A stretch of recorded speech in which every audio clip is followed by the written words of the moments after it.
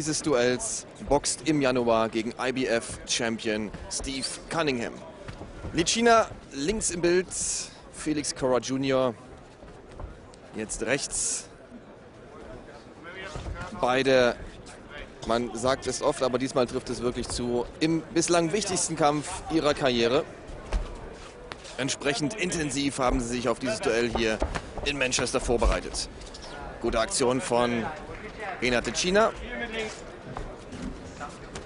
Seit einigen Monaten ja betreut von Carsten Röver, dem Coach von Sebastian Silvester.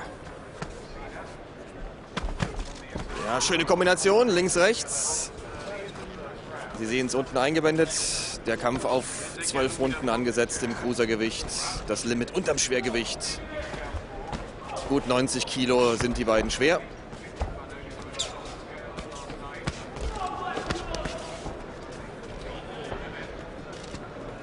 Felix Crow Jr.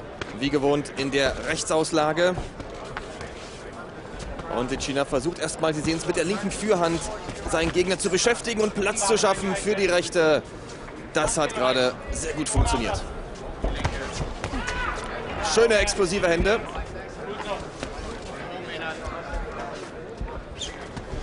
Sehr guter Start von Licina.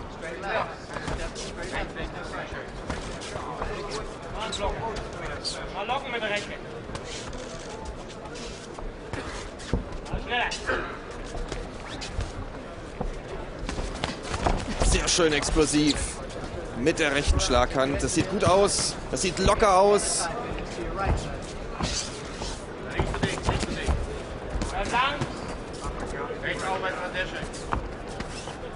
Und der Mann aus Galveston in Texas zeigt sich da erstmal beeindruckt.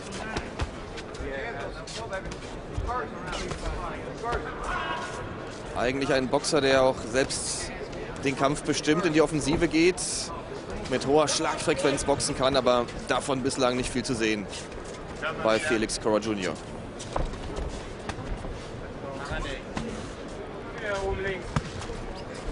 Ja, diesmal die rechte geblockt.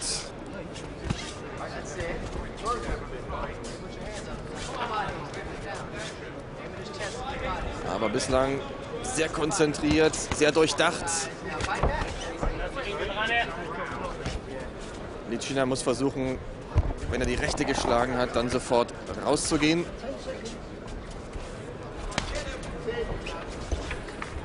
Denn Felix Cora Jr. schlägt einen sehr guten linken Haken. Ja, erste Runde ganz klar bei Licina. Baden und dem Uppercut zu arbeiten.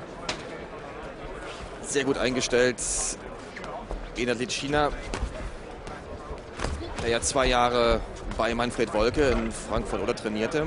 Dann im Oktober 2009 gegen Joan Pablo Hernandez verlor nach Punkten. Und da schon vor dem Ende seiner Karriere stand.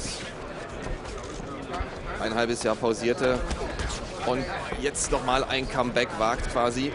Hat im August einen ersten Kampf in Erfurt gewann da gegen Ismail Abdul und sagt von sich selbst, er ist in einer tollen Verfassung, weil er zum ersten Mal neben dem Training auch sein ganzes Leben auf Spitzensport eingestellt hat.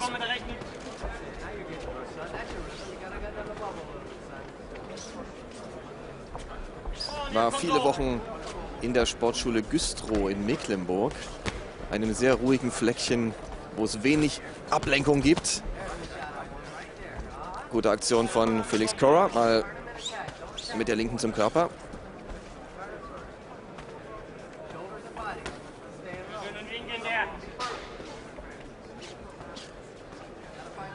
Hatte in seiner Auszeit schon 98 Kilo drauf. Und äh, dann mit dem harten Training bei Carsten Röver wieder runter auf 90. Ja, Cora versucht immer wieder jetzt zum Körper zu gehen.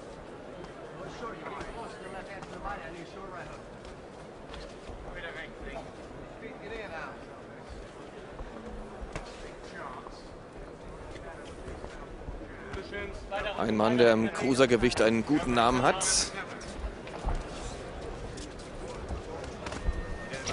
Lebt in Galveston, Texas, trainiert in Houston.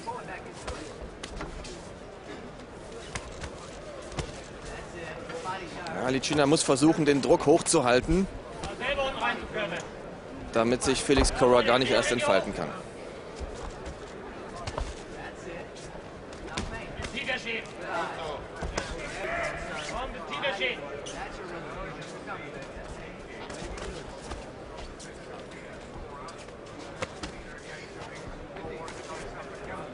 Jetzt wieder die China in der Ringmitte.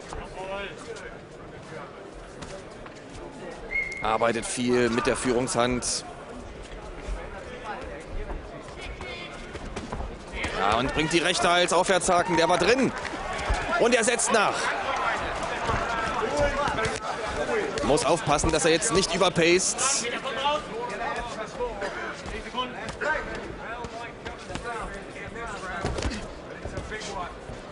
Sehr cool, aber innerlich schon ein Bursche mit Emotionen. Der zweite Mann, Thorsten Schmitz, sehr viele Jahre der Trainer von Regina Halmich.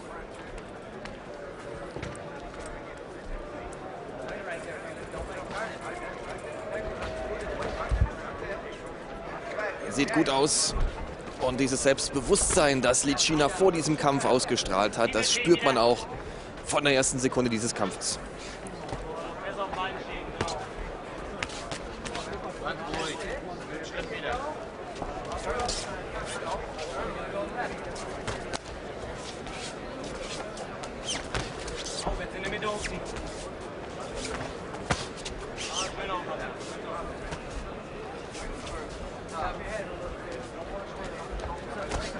Ja, gute Hand von Felix Cora, die war drin und da waren die Beine ein bisschen wackelig bei Licina. Da hat er mal einen Moment nicht aufgepasst. War ein bisschen zu sicher und darf jetzt nicht mitknallen. Erste brenzlige Situation für Enad Licina der schon in früheren Kämpfen auch mal so einen Aussetzer hatte.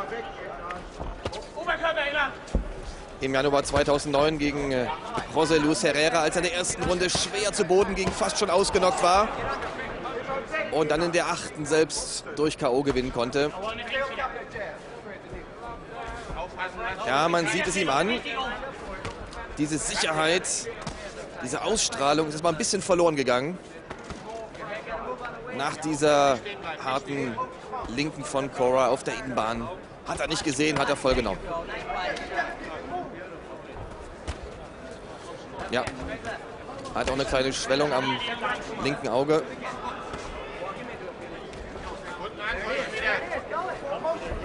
Ja, da hat Felix Cora seine Klasse angedeutet.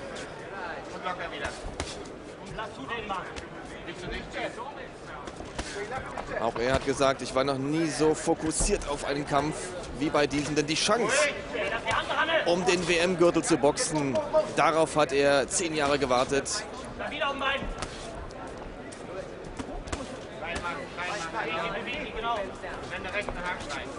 Und er hat natürlich auch viel Routine, viel Erfahrung. War ein Spitzenboxer bei den Amateuren in Amerika.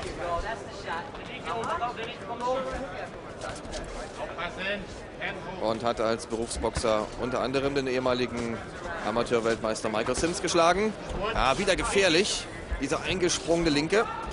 Wechselt jetzt auch die Auslage, nimmt die Linke nach vorne und die Runde ist bei Felix Cora Jr. von Felix Cora Jr., der sehr zufrieden war. Diese kurze, trockene Linke auf der Innenbahn von der Brust geschlagen. Und äh, die Bemerkung kannst du immer bringen, kommt immer gut.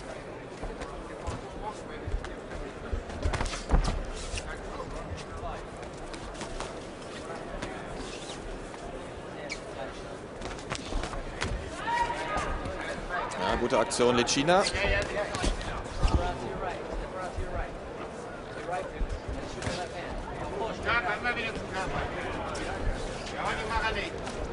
Wenn er selbst den Kampf diktiert, wenn er nicht zu lange wartet, dann kann er auch Felix Cora unter Kontrolle halten.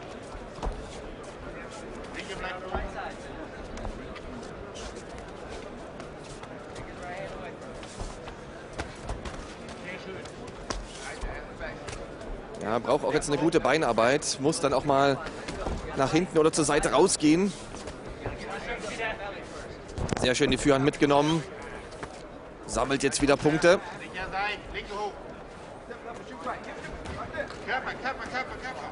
Er hat ja gute Reflexe und ist auch im Oberkörper sehr beweglich. Enad Licina. Sehr schön mal mit der rechten zum Körper.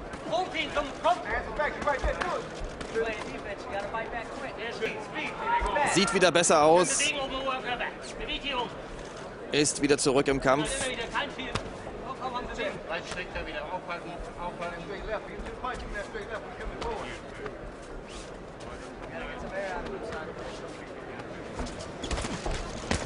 Oh ja, sehr schön. Explosiv. Körperkopf von Licina.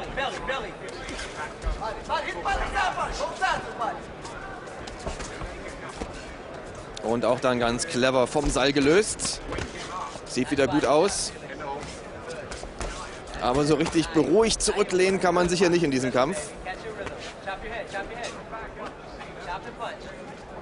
Felix Cora Jr. versucht den Druck jetzt zu erhöhen, den Rhythmus zu bestimmen. Und da war es wieder diese gefährliche Linke.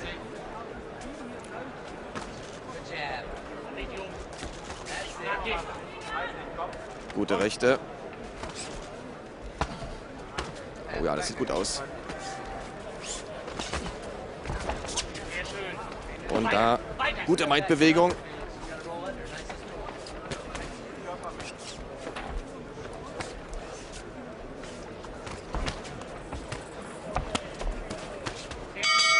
Gute Runde für Licina.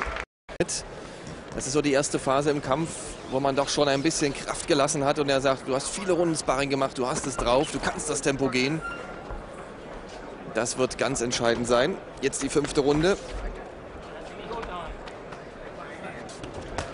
Licina bislang mit Punktvorteilen. Das war ein bisschen tief und das hat äh, Referee Howard Forster sehr gut gesehen.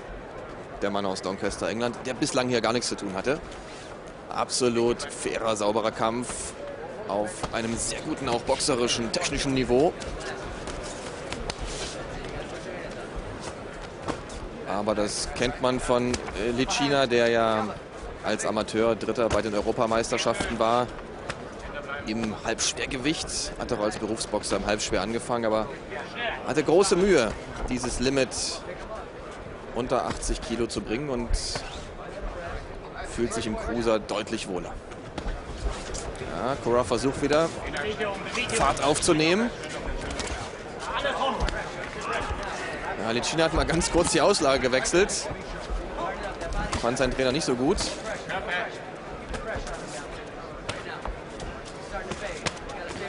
Ja, sieht man auch die Routine von Licina, wie er hier ganz geschickt den Schlägen von Felix Cora Jr. aus dem Weg geht.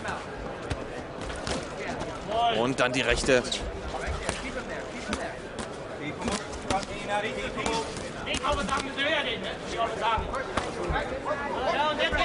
Aber es wird wahrscheinlich hier auch eine Kraftfrage in diesem Kampf. Der dann vielleicht im Schlussteil noch was zum Zusetzen hat.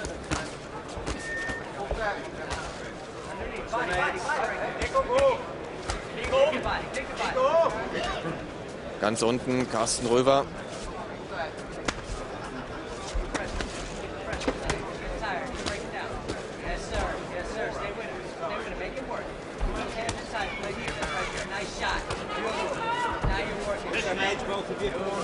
Beides aber mit den Köpfen aufpassen.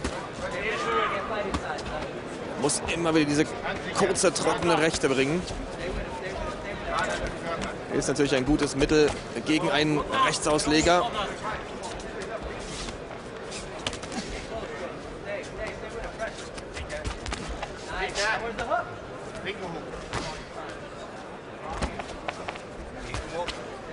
Ja, guter Uppercut von Felix Cora Jr.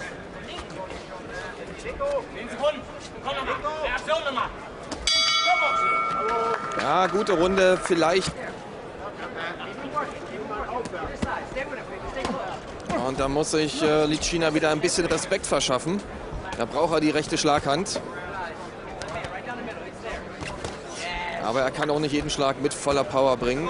Dann wäre er viel zu schnell müde.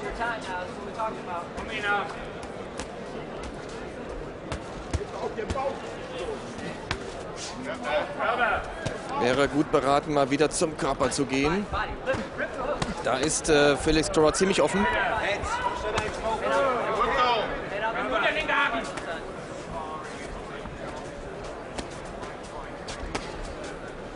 Ja, kann er nochmal das Tempo forcieren zum Ende von Runde 6. Wäre wichtig. Ansonsten ist diese Runde weg.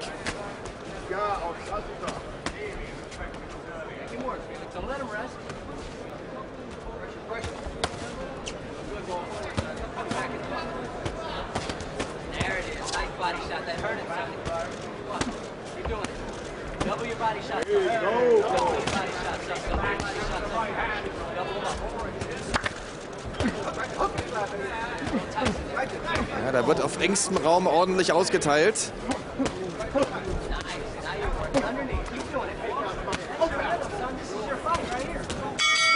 Ja, und die Runde dürfte beim, wie eingangs gesagt, erst seit einem Jahr der Coach von Felix Cora Jr., der bei seinem Vater das Boxen gelernt hat. Auch ein früherer Berufsboxer.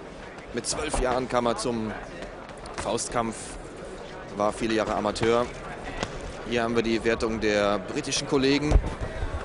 Die haben die China mit vier Punkten vorn. Ich habe es ein bisschen enger, aber auch bei mir zur Halbzeit des Kampfes Vorteile für Licina. Also er hat es in der Hand, er kann diesen so wichtigen Kampf für sich gestalten. Oh ja, letzte Ermahnung. Klar in Ansprache und Gestik. Beim nächsten Mal, beim nächsten Tiefschlag gibt es einen Punktabzug für Licina. Muss er wirklich aufpassen. Ja, mit zwölf Jahren kam Felix Cora Jr. zum Boxen. Sein Vater nahm ihn mit in den Galveston Box Club. Er sagt selbst, äh, es gab nichts zu tun in Galveston und auch heute gibt es da nichts zu tun. Man kann sich maximal Ärger auf der Straße einholen und für ihn war es ein Glücksfall, dass er zum Boxen gekommen ist. Immer wieder rechts,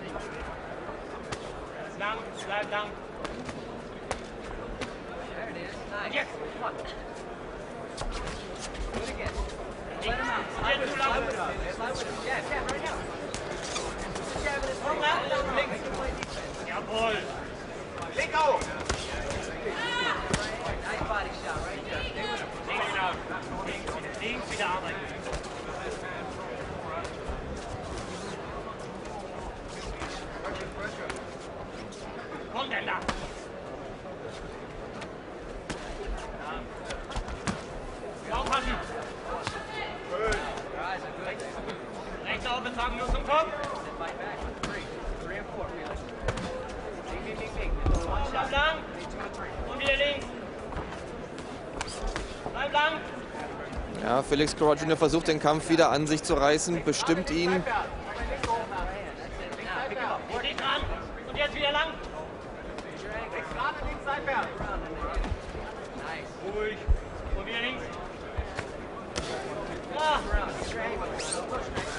Ja, gute Linke von Licina. Muss bei dieser Taktik bleiben. Step around. Jetzt ist stehen. Sehr schön. Und bewegen. Bewegen am Tag. Sehr schöne Aktion jetzt wieder.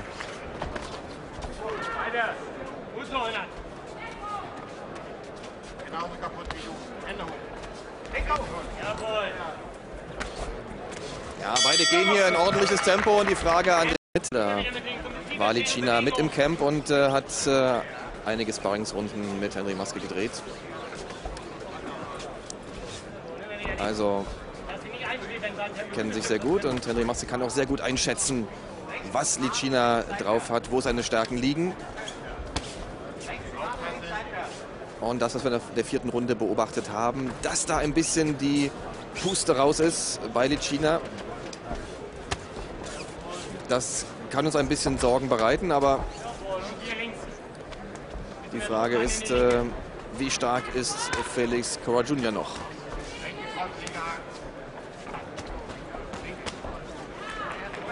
Gute Aktion Konter kommen. Er hat sich gut bewegt, aber dann kam die rechte nicht auf den Punkt.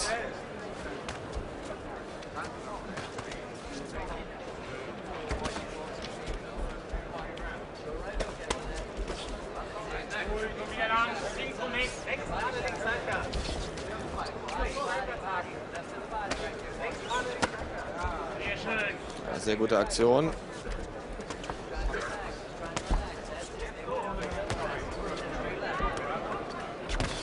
Oh ja, ich wollte gerade sagen, man hat das Gefühl, dass er den Kampf wieder im Griff hat. Und da kommt diese Hand von Felix Cora Jr. aus dem Nichts. Das sind so Momente, wo man glaubt, dass er in Gedanken ganz woanders ist.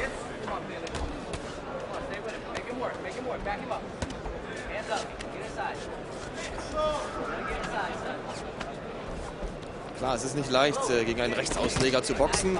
Das ist erstmal ungewohnt für den Mann in Normalauslage.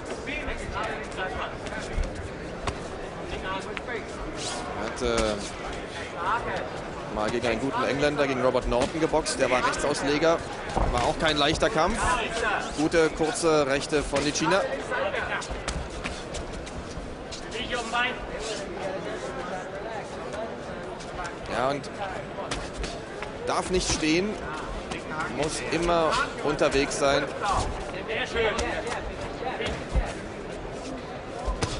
Letzten 30 in dieser achten Runde.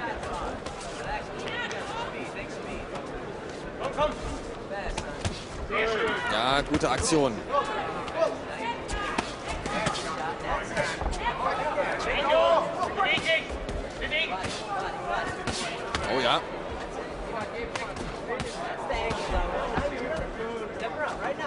Noch ein paar starke Hände von Felix Cora Hände.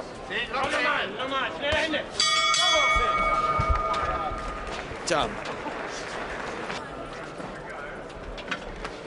Ena Licina in diesem Title Eliminator im Cruisergewicht gegen Felix Cora Jr. Er liegt nach Punkten vorn, aber er kann in diesen verbleibenden vier Runden auch noch alles verlieren.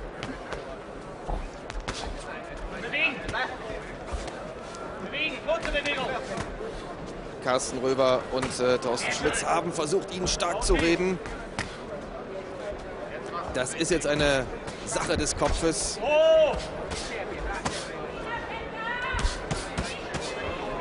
Ja, gute Serie. Ging zwar auf die Deckung, aber das hinterlässt doch erstmal Eindruck.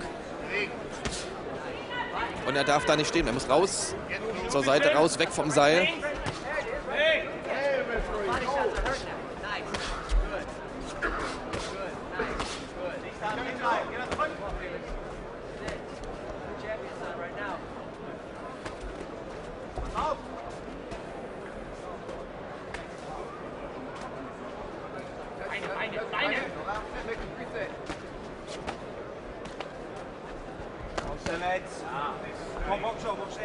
Ja, auch Felix Cora Jr. atmet schwer.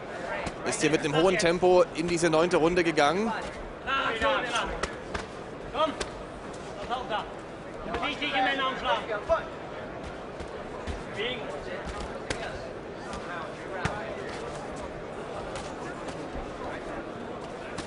Ja, sehr schön. Ja, weitergehen. Gut so. Licina muss versuchen, lang zu bleiben. Aufbauen. Und Kinn weg, die rechte links. Shots on head. He's tired. Oh. Immer wieder linken haben. Auch nach der Aktion von äh, Cora Jr. konsequent dann gegenzuschlagen, zu kontern.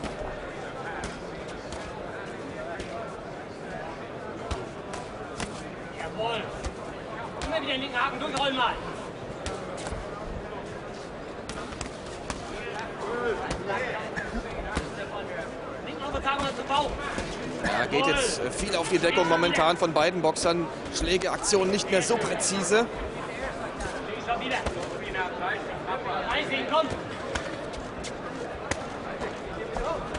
Schnelle Hände, schnelle Hände. Ja, richtig. 20.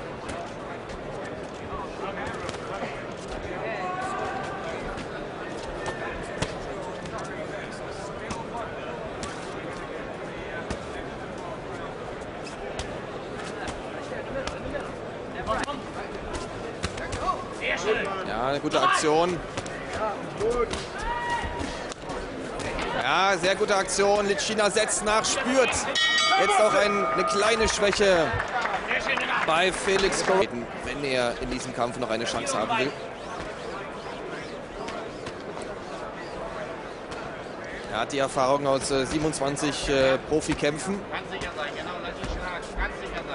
Aber lang Drei Punkte die China vorn, da würde ich mitgehen.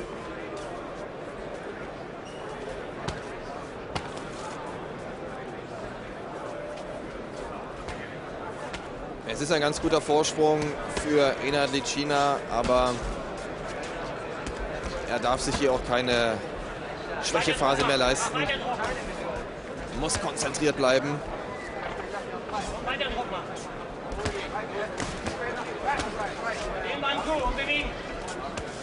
Für die Punktrichter kann entscheidend sein, wer jetzt einfach der aktivere Mann ist.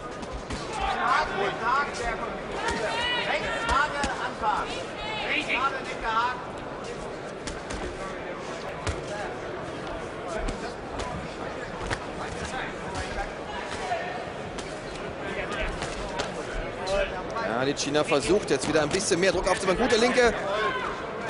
Trifft jetzt wieder besser. Da bleibt stehen machen. Lass den oben genau. Stabil auf dem Bein. Und bewegen. Sicher, sicher, sicher. Schön auf dem Bein. Einfach abklicken. Sehr schön. Lass seine Hände weg, das tut mir weh. Treffer, Treffer, Treffer. Die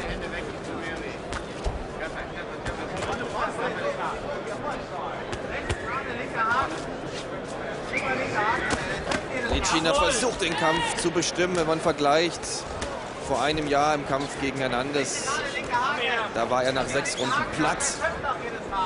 Da zeigt er sich heute schon deutlich stärker. Ob das äh, für einen WM-Kampf dann reicht, ist eine ganz andere Frage, aber es bleibt ja auch noch ein bisschen Zeit.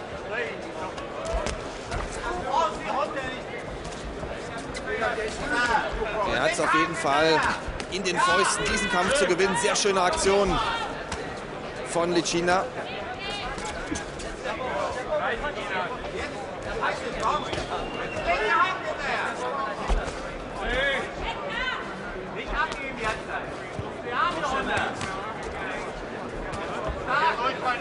Mach noch mal eine klare Aktion hinten raus. Ja, Licina macht den etwas frischeren Eindruck. Und jetzt du.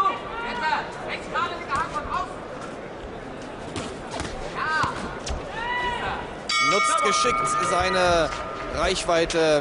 Entscheidung in diesem Kampf. Die letzten beiden Runden.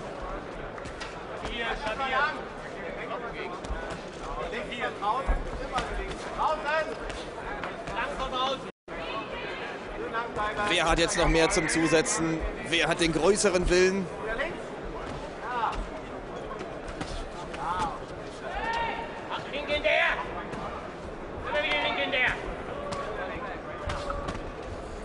Versucht jetzt gleich, Felix Cora Jr. in seinem Vorwärtsdrang zu stoppen.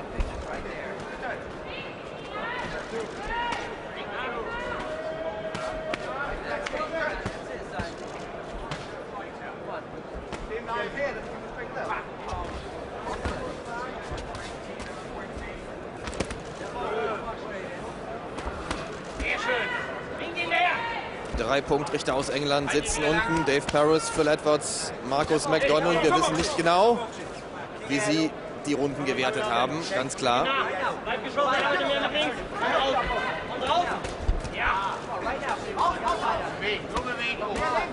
Aber insgesamt für mich bislang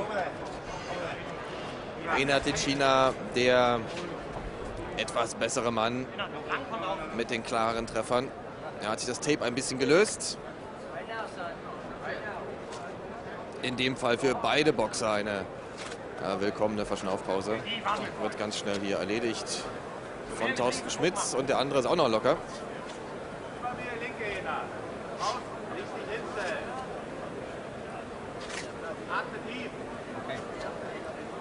Ja, das geht natürlich an die Substanz.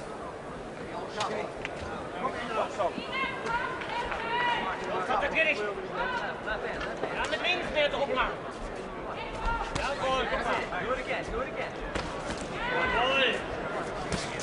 Ja, beide Boxer bekommen jetzt natürlich viele Anweisungen aus der Ecke. Gegen Rücken an. Rückgegen, rückgegen. Raus, raus. Geh nach links raus.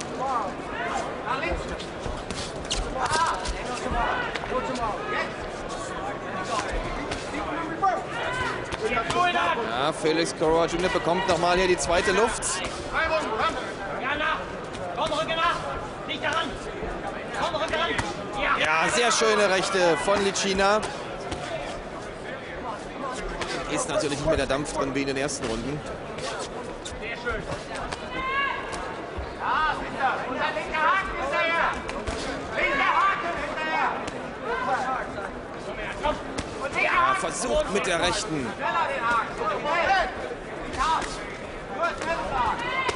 Im Hintergrund äh, Hagen Döring, der Matchmaker.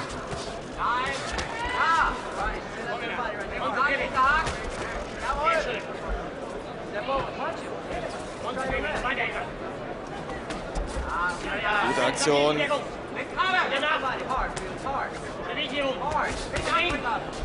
Aber insgesamt in Runde 11 Felix Coroa Jr. mit mehr Schlägen. Auch wenn da ein paar gute von Licina drin waren.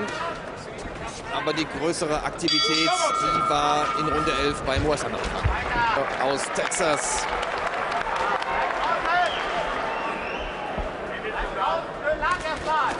Nach Punkten könnte es für ihn reichen. Das bestätigen auch die britischen Kollegen. Drei Punkte Vorsprung, aber das muss bei den Punktrichtern hier nicht so aussehen.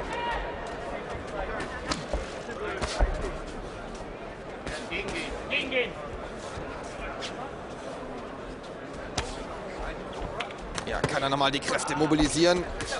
Versucht gegenzuschlagen.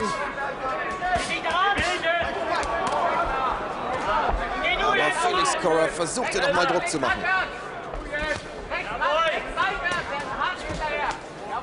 Auch für ihn ist es eine große Chance. Er würde zu gern seinen Landsmann Steve Cunningham herausfordern.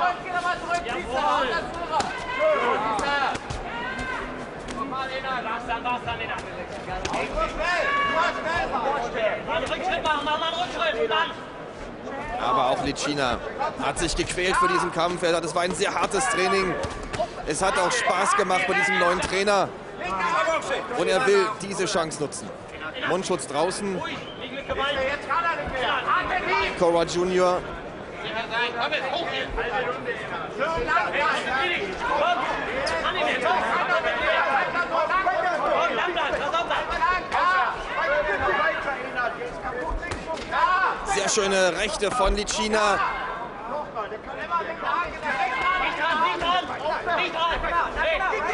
Die große Schlussoffensive von äh, Felix Junior bleibt bislang aus. Licina hat alles unter Kontrolle. Noch gut eine Minute in der letzten Runde. Klare Treffer jetzt mit links, rechts. Gegen, gegen, drücken. Zurück, gegen. Hard, hard. You gotta hit him hard. Den Hochlauf bezahlen. Zum Kopf. Ja, das könnte reichen. Geh, geh, geh, geh. Jawohl. Hoch die Hände. Die linke Hand hinterher. Den Weg auf rein. Weg da, weg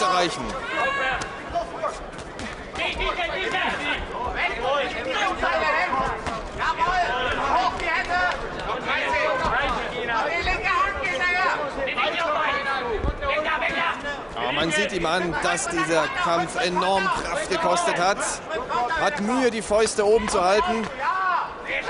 Aber er bringt die Schläge immer wieder. Und Felix Junior ist fix und fertig. Er. Versucht's nochmal. Trifft Legina am Seil. Er müsste sich nochmal rausdrehen, nochmal befreien.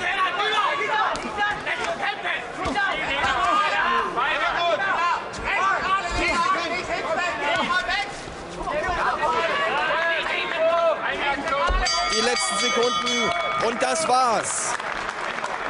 Ein intensiver. Judges scorecard, where Judge Philip scores it 117 points to 112. Marcus McDonald scores it 116 points to 112. And Dave Paris all scores it 116 points to 113 points. For your winner by unanimous decision and your IBF Cruiserweight Eliminator Championship winner from Frankfurt in Germany, Inan Lechina. Die Punktrichter haben es genauso gesehen wie wir. Ein guter Punktsieg. Einstimmig.